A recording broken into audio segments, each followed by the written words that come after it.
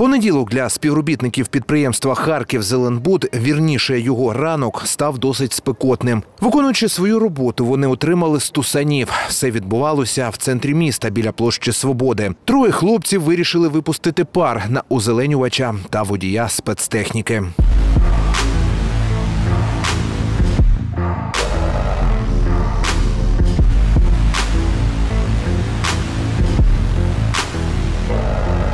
Начали забирать пистолеты и угрожать.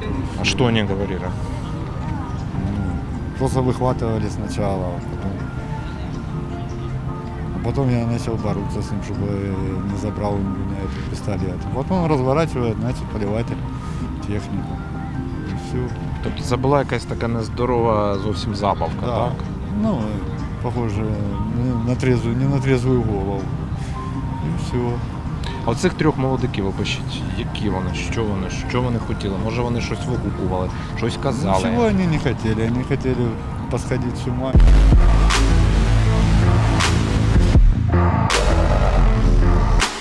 Запрыгнул он сзади на моторный отсек Це и... куди? Ось сюди, так? Да, на моторный отсек, сюда он запрыгнул, вот они следы остались, а и запрыгнул на кабину. Был разбит фонарь, я сейчас его кое-как прикрутил веревками и треснуло в процессе того, что кидали сюда. Вот, или связка ключей, или что у него там было, что он с земли подымал один из них. Вот, треснуло стекло. Вони щось казали, що це було? Ничего он не говорил, ничего, просто ребята были, видно, хорошо поддатые, веселые, и им было это все равно на кого или напасть, или сотворить какое-нибудь чудо света. Ви постраждали, що вони робили? Ну, когда я забирал, хотел отобрать пистолет, у напарника вырывали, забрать пистолет, один из э, этих ребят, значит, я увернулся, попал мне в ухо и немного рассек ухо. Це можете показати? Вот де ось? это левое ухо. Свербіти кулаки у трьох молодиків, кажуть у прес-службі Харків Зеленбуду, почали ще біля озер. Це зафіксували чисельні камери відеоспостереження, що є на території місця відпочинку. Трое молодых людей в состоянии алкогольно-наркотического опьянения.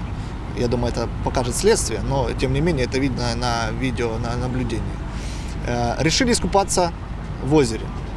Э, Охрана сада Шевченко сделала замечание и предотвратила этот факт, э, впоследствии чего молодые люди решили спровоцировать охрану на драку. К счастью, и по уставу охрана не спровоцировалась, и после этого решила попросить э, молодых людей покинуть территорию сада Шевченко. Полтора часа ориентировочно ушло на уговоры, на просьбы, чтобы э, молодые люди покинули сад Шевченко. Вызывали полицию, но почему-то полиция в течение полутора часов не посчитала нужным приехать на место происшествия. Особи всіх трьох розбишак вже встановлені. Правоохоронці провели огляд місця події, опитали свідків. Відомості про подію внесені до єдиного реєстру досудових розслідувань за статтею хуліганство. Максимальне покарання згідно з санкцією статті передбачає до 4 років позбавлення волі. Ось один з постраждалих співробітників Харків Зеленбуду Сергій Зотов каже, що такий випадок за всі майже 50 років його роботи та двох років роботи в міському КП вперше. Они втроем были, конечно, это самое, и помоложе намного, и мы бы с Эдиком, если б не охранники, сильно пострадали. Ігор Безкровний та Сергій Перець. Харьковские известия.